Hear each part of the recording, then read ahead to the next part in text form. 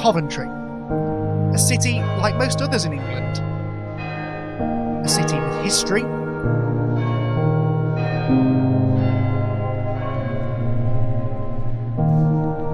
A city with beauty.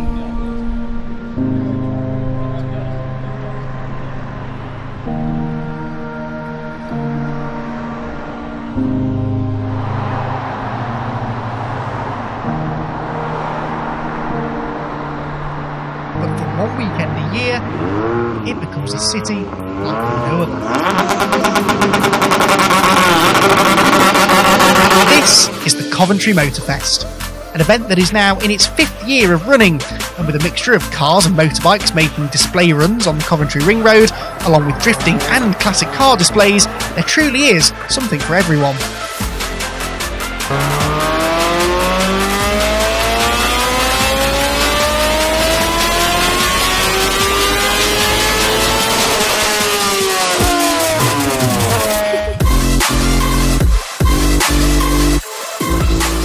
But this year, a new element has been added to the event. The first legal, competitive street racing in the UK since 1990. And with a new main sponsor in Power Maxed, this promises to be the most exciting motofest yet.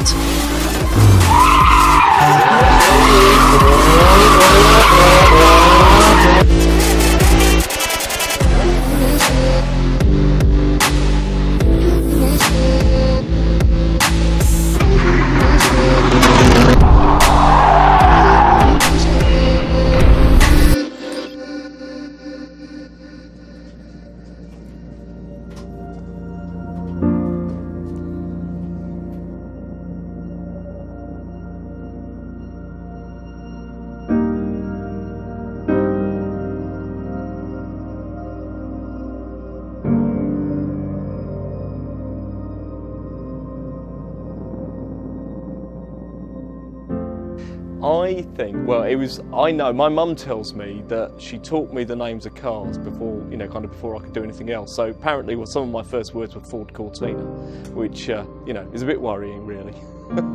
but I've always been into them, and I started mucking around with push bikes when I was in my teenage years, um, and then had my first Triumph when I was 16.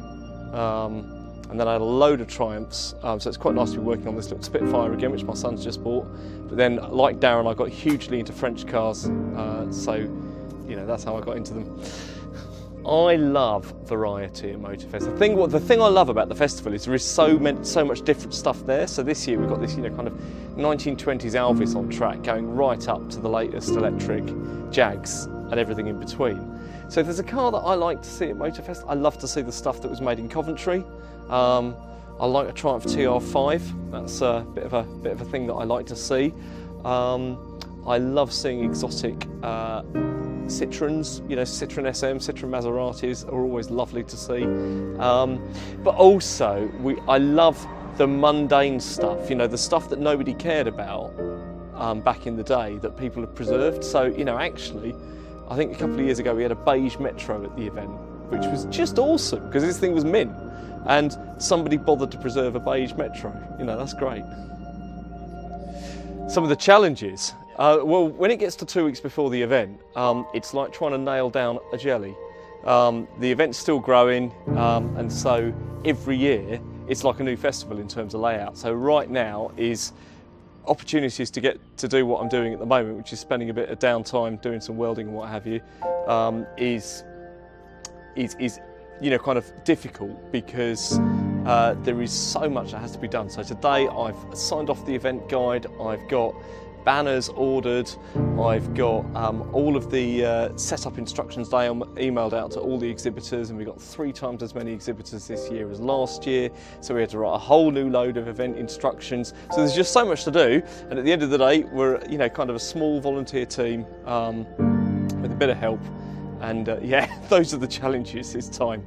I was helped, it couldn't happen without volunteers. Um, so, you know, it, the, the event has grown on, you know, enthusiasts like myself getting together, loving the city, loving Coventry, loving our sport, loving our hobby, and making the event happen. And that, that is what's happened, you know. So, although, yeah, there's challenges working with volunteers, but the point is, there wouldn't be a Motofest without the, uh, the dedicated enthusiasts that make it happen.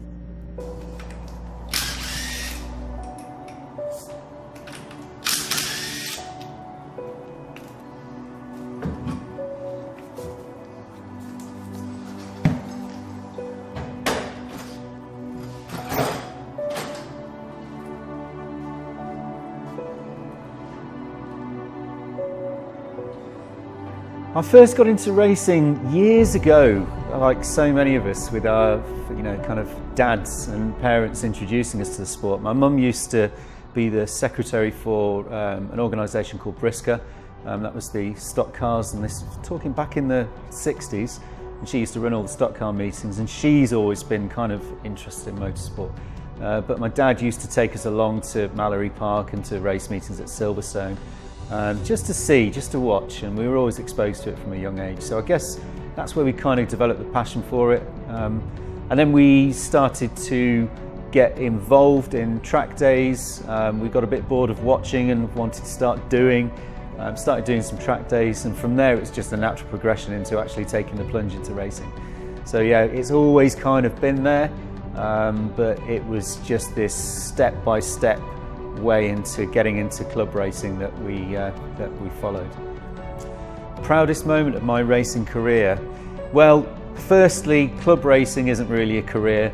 I've got to be realistic about it. I think the proudest moment was um, the first race that we ever did um, with a good friend. We do endurance, mini endurance racing, so we get to share the experience with friends, and that's what's kind of important for me. But the first race we ever did, it was such an achievement just to get the car to the meeting and onto the start line for the race. I think it was it was that. I think it was just that we'd made the decision to do it, wildly underestimated how much time, effort, money it was going to take, and that effort in the week, in the run up to the first race, was absolutely monumental. So that's probably just in itself was the best achievement that we ever managed. Have I started planning the racing lines for Coventry Motofest? Well, I did design the circuit, um, and I have kind of worked on every year changing and tweaking the design of the circuit. So you could say I've got some insider knowledge, um, so it would be fair to say, yeah, I've got a rough idea of how I'm going to be approaching this meeting, that's for sure. Power Maxed have been coming to Motofest since the event began, and they will also be competing in the street racing this year with their British touring car team. Why did they decide to become the main sponsor of the event, and what keeps them coming back to Motofest every year? Yeah, we basically kept on increasing our involvement. We started off in a gazebo, then we had a show trailer. Um, last year we had this, our converted uh, converted shop lorry um, that we're standing in now, and it uh, really we're going to struggle to go much bigger and better than, than what we've got. So uh, it was a natural progression to increase the level of sponsorship of the event and become the title sponsor. Uh, I just see the potential. It's growing year on year um, by significant numbers. Uh, it's free to get in uh, which is, is, is, is, a major contributing factor to, to why it's growing, I think, really. And you know, the action on the track and around, it's a great family atmosphere. Uh, Senna Proctor's been here driving for us, so he's one of the youngest guys in the British Touring Car Championship. Uh, won the Jack Sears Trophy with us last year, stayed with us for his second year, won a race at the first round at Brands Hatch, and has uh, come along to this weekend to drive the Power Maxed TAG Racing Astra. Yeah, I love the Motofest here at Coventry. You know, we, I came last year and we did quite a lot of demo runs, and uh, the last two days we've been competing in the sprints. So that's been quite good fun. Uh, there's always some great fans about, sort of looking around, a lot of enthusiasts uh, and some lovely cars as well. So it's nice to be involved with it. Uh, yeah, it's great. It's um, you know, it's, it's a sort of uh, a, a, first today that they're actually uh, running this running an actual sprint sprint race on the circuit. So that's um, that's great for everyone involved. You know, it's, it's what um, it's what all the whole of Coventry Motofest has been working towards for the past five or six years, and you know now it's becoming sort of a reality that you know we are actually competing on the streets. Um, it'd be nice to probably do a street race in, in a British touring car, although there's probably not enough room for us to all get through. But yeah, it's, it's a great event and love coming to it. I, I just love the fact that it's so accessible to everybody. You know, I'm here with my family and I can enjoy cars in a much more relaxed environment than you can usually at a, a motorsport event. Um, it's, it's great for the whole city. There's, you know, you can come to Coventry and, and, and on a normal day and then come, come this weekend and how how alive the city feels is, is absolutely fantastic and it's a good thing for motorsport, anybody interested in cars and it's a good thing for the city of Coventry. yeah, it's quite it's quite nice to sort of have no pressure as well today. You know, drive this drive this lovely Vauxhall Astra, you know, prepared by uh, Power Maxed Racing. It's just it's just great to sort of jump in it, have a ride round with no with no sort of pressure on me, and sort of do my own thing and get get to enjoy actually driving the car and you know what the car's all about than um, than having the pressure of competing as such.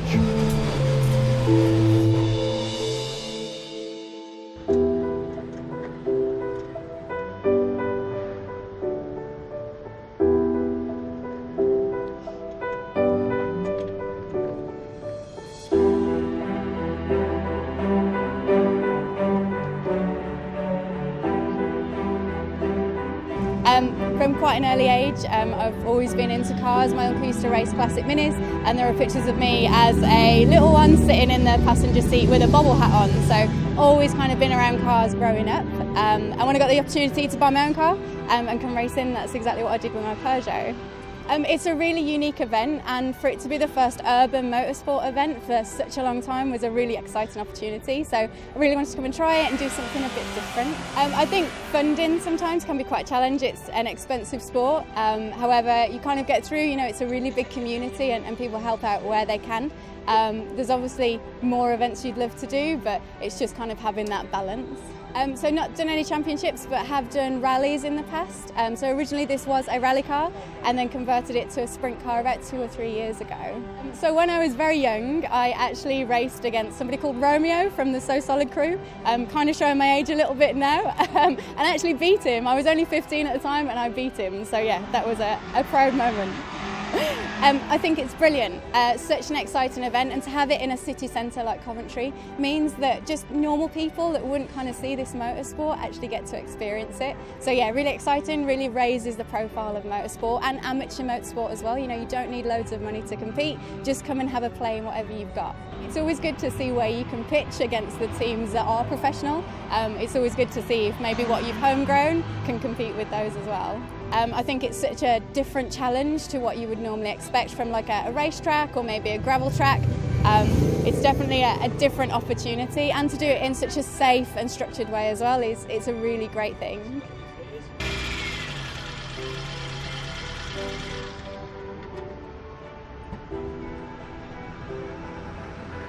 With Stacy winning her class at the end of the day, she is one of many happy racers. However, one driver who had been looking forward to this day for a long time missed out on running in day one. My car didn't make it to the grid yesterday because as I get older, my aversion to risk becomes slightly higher.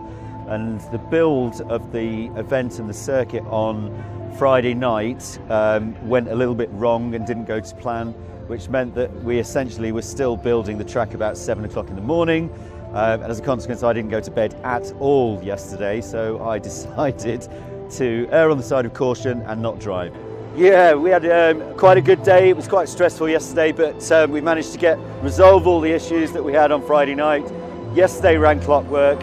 Last night I had enough sleep, so I feel a lot happier today. So I've entered into the sprint. The cars passed scrutineering. Um, we're just getting a few of these demonstration runs out of the way, then I'm looking forward to taking part in the sprint. The amount of work that it's taken to get Coventry Motofest as a festival to this point, I can't even begin to tell you how many hours, blood, sweat and tears so many people have put into this event. It's taken five years of negotiation, of interpretation, of lobbying to be able to get us to a point where we can have street legal motorsport in a, an English city street uh, for the first time since 1990. I'm immensely proud of the work we've done, immensely proud of the team.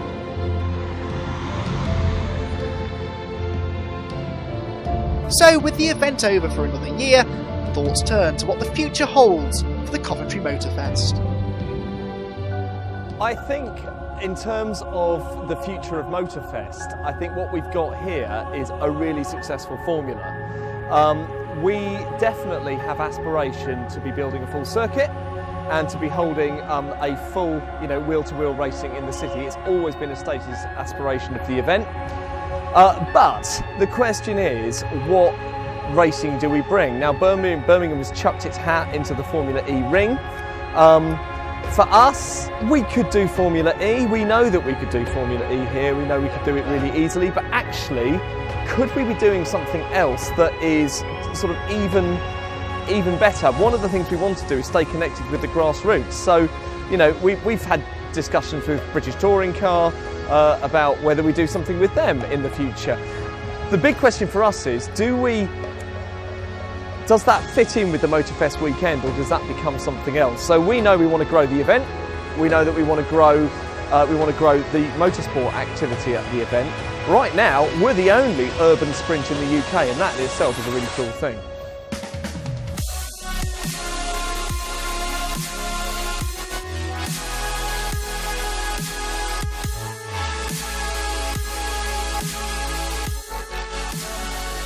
It's, it's a challenge. It's you know certainly operating at a British touring car level. There's only 32 cars on the grid, um, made up of probably 14 teams.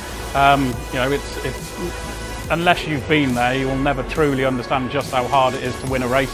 Um, and this year we've won three already, won it every single round, and you know that feels pretty special.